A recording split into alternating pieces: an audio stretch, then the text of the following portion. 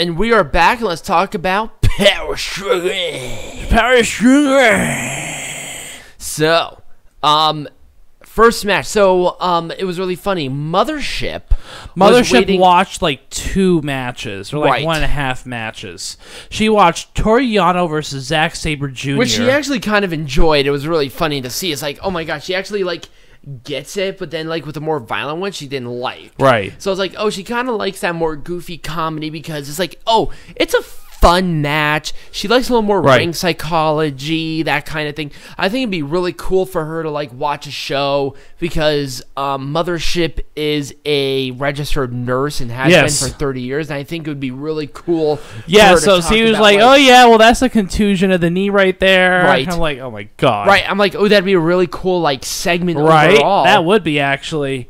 Um, anyway, so Toru Yano Zack Sabre Jr. Provisional KOPW Championship Trophy. Um, Toru Yano was in. So Toru Yano, I'm gonna I'm gonna paint this. Toru Yano's leg was wrapped into. No, let's talk about like some of the things that happened. So first of all, um, Zack Sabre Jr. forced uh, the the um, Turnbuckle the pads come turnbuckles pads the turnbuckle pads to come off.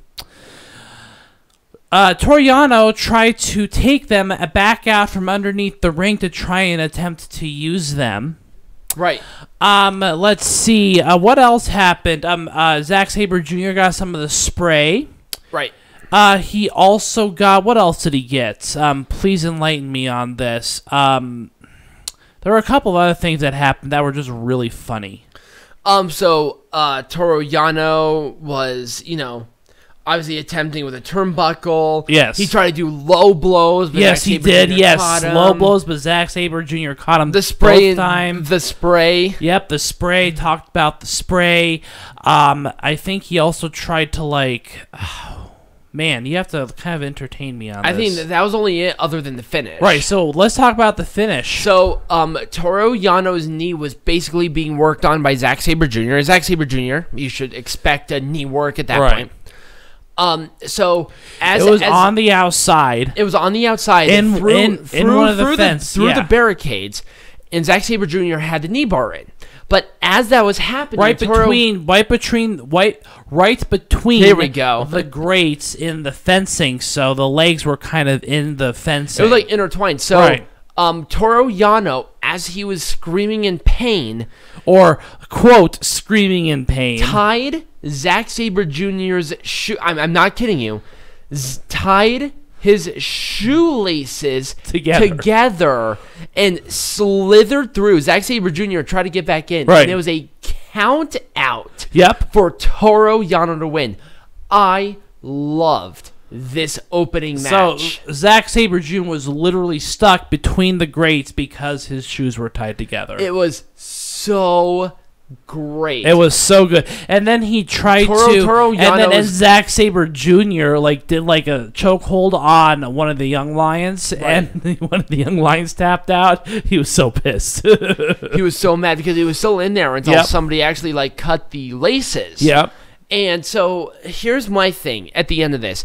I think what's going to happen is that we're going to get this again at Wrestle Kingdom. I think so too. Um, and I do believe that Zack Sabre Jr. will eventually win it. I think it's gonna be like a um, anything goes Right. anywhere around because remember the KOPW championship can be defended in any regulation match. So that will be one of those. Mm-hmm. Right. And it starts back over at the end of that month. Right. So um, I, I, I thought this was a great match to start out. It was a good opener. It I- was I it was really a did. decent opener. And also, both of these two are amateur athlete wrestlers. right. wrestlers. So yeah, we saw a lot of that as well, which was really cool to see.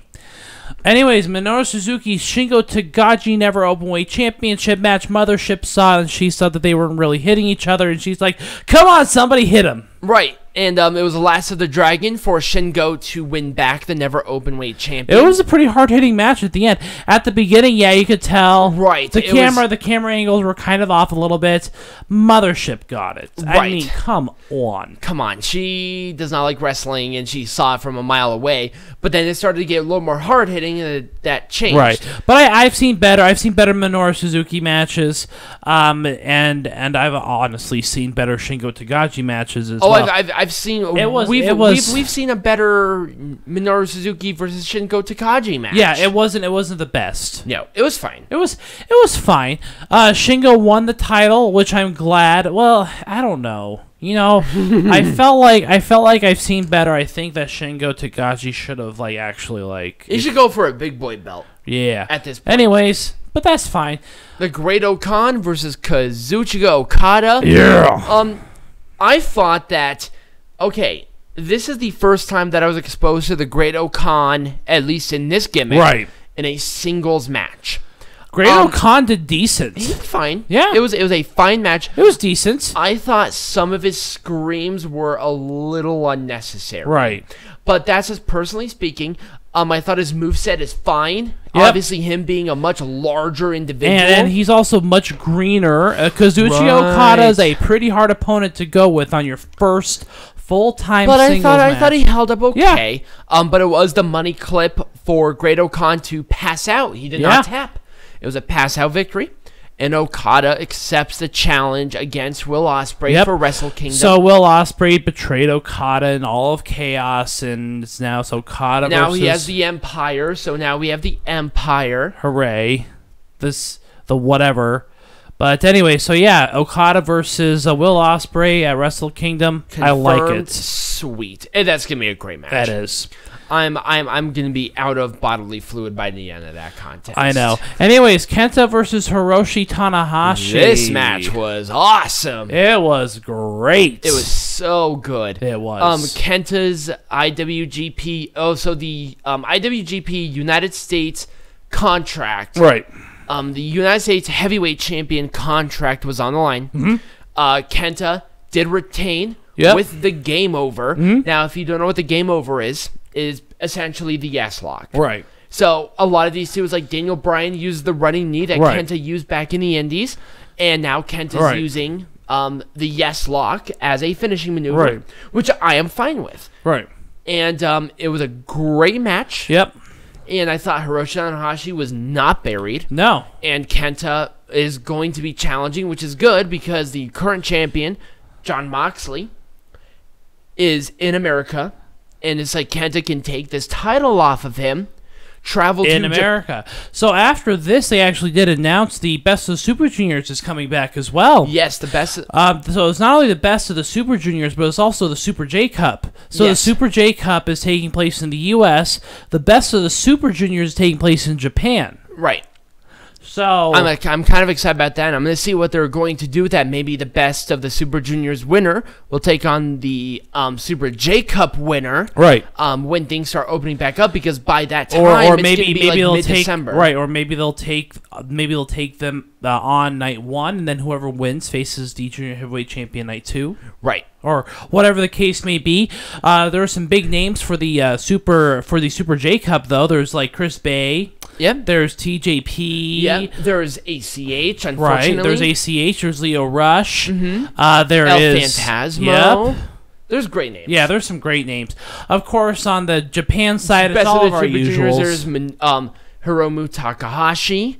There's Taiji Ishimori, current heavyweight champion for the junior heavyweights. so whatever. Uh, I mean, um, I mean, Robbie ov- Robbie Eagles, I mean, who over- actually moved right. there. O- So overall, it's going to be a great set of tournaments. right, we're gonna really get a, a lot of great Because they originally this. had canceled it, but now they're bringing it back. Yes, they did because of the virus. because of the lockdown. Ronas. Right, right, right.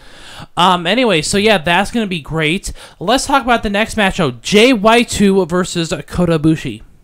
And or I did Ibushi Kota, Kobushi Kota, which is the double gold contract, and it was a Jay White baseball slide all over the ropes for the win. This match was very good. First time that a double that a contract for Wrestle Kingdom has it has been changed hand. defended a total of like what did they say like 13 times? Yeah, twelve times. And No, it was 18. It was Oh, 18 times. 18 times that the uh, that this, this that, is- that this opportunity at Wrestle Kingdom was defended. This was the first time it changed that hands. it changed hands. But Jay White, so um, you know, I might as well spill the beans now because it was announced this morning. But uh, Tetsuya Naito is going to take on both Jay White and Kota Ibushi at, for the main event for both nights for the double golds. Um, just because this particular match was very. It was it was a very controversial finish. If you watch this match, you'll notice that it was a controversial finish. Definitely watch but this what do you but was what do you think about the match? It was yeah, it was a great match. It, It was, was fantastic. awesome. Yeah. Obviously, J- a Jay White Kota Ibushi match is going to be Right. great. Anyway, let's talk about the main event. Tetsuya Naito versus Evil. for both IWGP Heavyweight and Intercontinental Champions. Um, it says Destiny. It's Destino. It was a Destino for the win. What a freaking match! Naito retained. I I really thought it was going to be Evil, but if they're having them go against both, I mean, I guess that makes sense. Right, and if Jay White's not going to be doing that, So anyways, let's talk night a- one, right. then we're going to have Jay White versus Evil for Bullet Club leader Right. during night one because that would be freaking awesome. This Right. match was amazing. So, anyways, um, Evil had Master Wato and somebody else. No, it was um. Oh no, it wasn't Dick Master Togo. Wato. It was Dick Togo, and uh, who else was out there? Nobody else was out there. No, that I thought there was. So, anyways, um, anyways, Dick, Dick Togo tried to get involved. And anyway, then- Sanada comes out and takes two Yes. members of Bullet Club to the oh back. no, no, no, you're right. So it was um Gato. Yeah, it was so Gato, It was um Sanada attacked Gato and Dick Togo and Right. dragged them back. Jay White came out and attacked.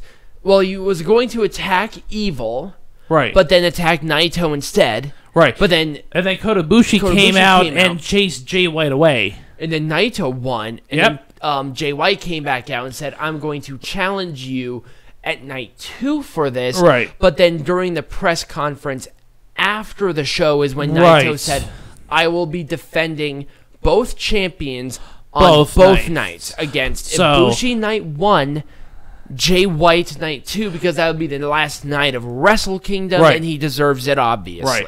Um, let's talk about the crowd though before we come to a prediction uh, or we come to the favorite match They the were night. they were one seat apart. yeah, they were really close. It looked like it was full. Yep. It Well, looked like it was one. full. It was it was a one seat difference, which is not six feet. Right. Um, it was a full arena Yeah. from basically like nosebleeds to at ringside. Yeah.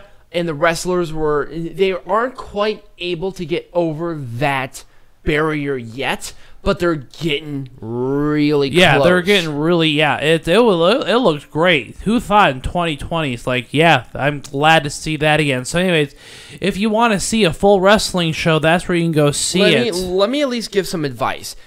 When things start opening back up across the world because of COVID, and we are able to go back to arenas and shows like that, I am never going to take it for granted ever again. oh no, never. I am I am so beyond excited to actually start sitting back into seats and Right. watching a show live and really um, immersifying myself into that Right. culture.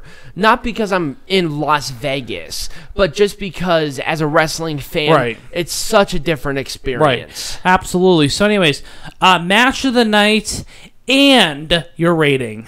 My rating for Power Struggle is going to be a four. Okay. Very, very conservatively a four. Okay. and I'm going to give the match of the night to Tetsuya Naito and Evil.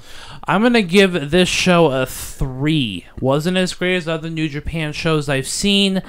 Um, you know, even if it was a fun title match or whatever the case may be, it it just didn't have. Well, it almost had the magic, but it just didn't have the magic that I was looking for. There weren't any tag team matches. What the hell, New Japan? So Where are the tag team matches? I'm pissed now. so Peanut Gallery bitches about too many tag team matches, but then when they don't have a tag team match, Peanut Gallery, you are you're There needs to be a balance, ass. you're one of those uh, IWC bullshit. you can't please them anything bullshit person. Anyways, I give it a three. It wasn't as good as other New Japan this is shows why you're I've going to die alone. Anyway. Yes. Anyways, and then I give I give the match the night to Naito versus Evil. That was just that was just fantastic. anyway, so yes, um, Uh, next week's show, what are we gonna discuss? um, Get swifty. Yeah. So, um, because we don't have a show or anything, I Yeah. thought we were gonna. I think a little bit of a nice little fun detox is gonna be fun. So, Peanut Gallery and I are going to choose five gimmicks. Five. Five. Five gimmicks. And we're going to watch a match of those five gimmicks at some point in time this week, and we're gonna talk about it. On our reactions to it, any kind of further research on it, and everything. and, what is between. theme of the worst matches? the worst gimmicks in professional wrestling. Hooray! So we're gonna choose five gimmicks. I'm gonna compile a list like we did with the worst matches in wrestling history. Yep. And we're gonna do essentially the same thing. Right. And uh, Bible study is to be determined. Wrestling lessons, I assume, is to be determined as well. Yes. We will uh, notify Le Public when we have done so. And, Yes. um, anyways, I think that's all we have. No Yep. pay per views next week. So if you're looking for something that's not pay per view related, tune in next week. Yeah, become a patron and also follow us on social media, including Peanut Gallery's Instagram, which he has posted nothing. I posted one. nothing. Yeah. So as always, be Majestic.